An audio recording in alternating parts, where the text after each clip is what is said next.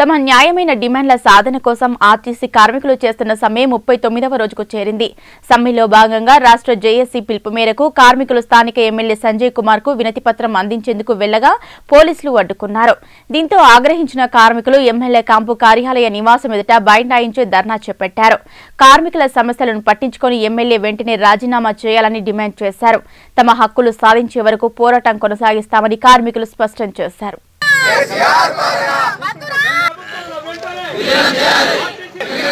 ఆర్టీసీని ప్రభుత్వంలో వెంటనే ఆర్టీసీని ప్రభుత్వంలో వెంటనే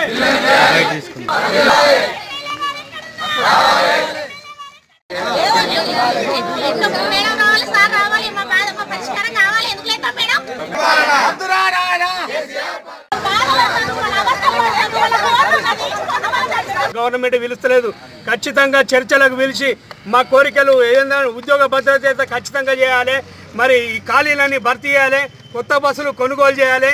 ప్రతి పల్లెకు బస్సు పంపాలని చెప్పి మేము జగిత్యాల జేఏసీ తరపున కోరుకుంటున్నాం. నిరసన వాళ్ళ ఇంటి ముంగట ఎమ్మెల్యే గారు లేనందున వాళ్ళ ఇంటి ముంగట బైఠాయించి మేము నిరసన తెలుపుతున్నాం.